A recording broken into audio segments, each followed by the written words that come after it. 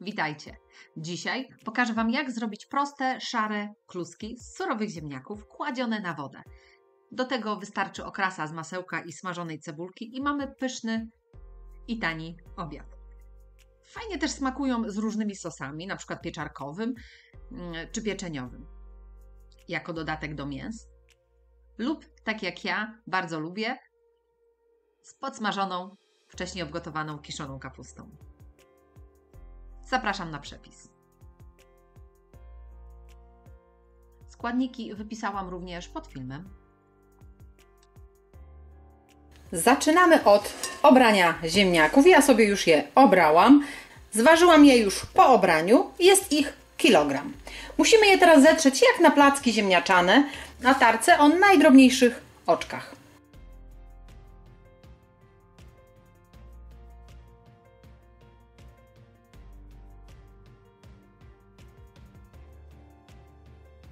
Ziemniaki dalej mają sporo wody, więc chciałabym sobie je troszkę odcedzić przez sitko. Ja mam takie gęste sitko. Możecie odcedzić również przez na przykład ściereczkę bawełnianą. Nie chcę odciskać ich za mocno, ale chcę się pozbyć po prostu nadmiaru wody. Wszystko zależy od tego, jaką odmianę ziemniaków mamy. Najlepiej, żeby były takie mączne bardziej. Mm, wtedy tej wody powinno być trochę mniej. Nie odciskam ich, tylko pozwalam im przez około 5 minut sobie odcieknąć. W międzyczasie, jak obciekają moje ziemniaki, pokroję półtorej cebulki w kosteczkę. Nastawię sobie również duży garnek z wodą, żeby się zagotowała. Minęło 5 minut. Wody odciekło całkiem sporo. Mogę przerzucić odciśnięte ziemniaki do miski.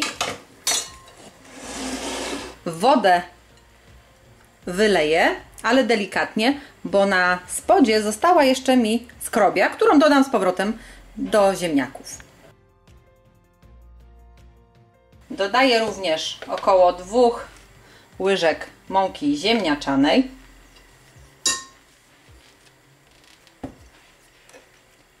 Jedno jajko,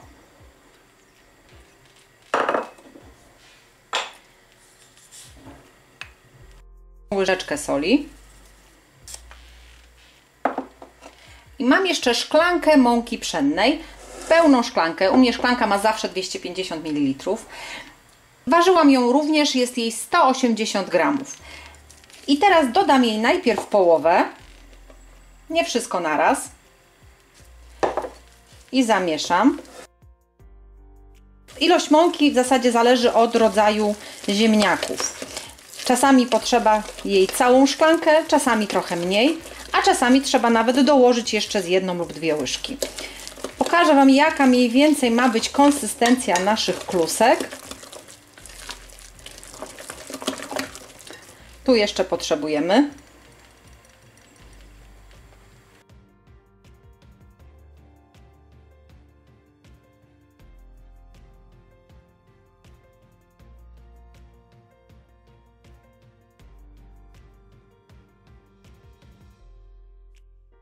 Jeszcze trochę. Myślę, że ta szklanka będzie akurat na mój rodzaj ziemniaków. Jest tak w sam raz, taki gęsty budyń. Woda mi się zagotowała, więc już mogę wrzucać moje kluski. Na patelnię wrzuciłam masło, dowolną ilość, 2-3 łyżki i podsmażę na nim moją cebulkę na niedużym ogniu, żeby najpierw zmiękła i dopiero później zaczęła się rumienić, a żeby mi się nie spaliła.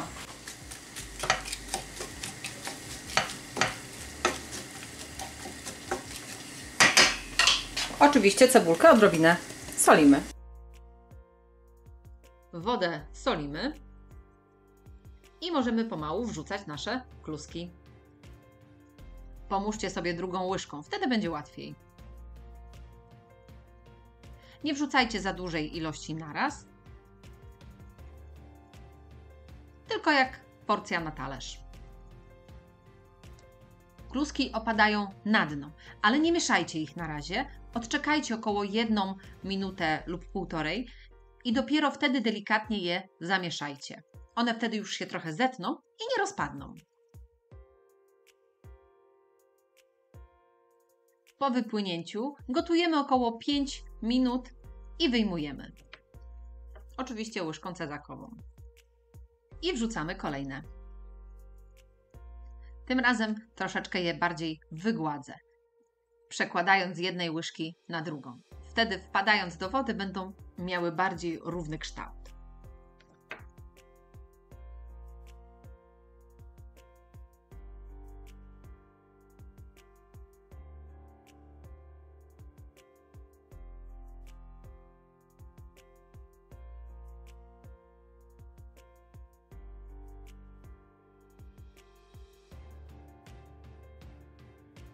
Po wrzuceniu ponownie odczekuję około 1-2 minuty i dopiero mieszam. Po wypłynięciu gotuję jeszcze około 5 minut i dopiero wyjmuję na talerz.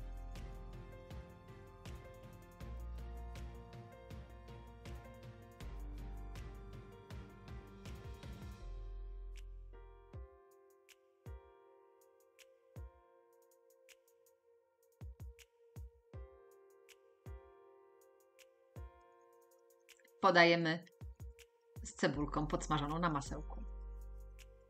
I gotowe.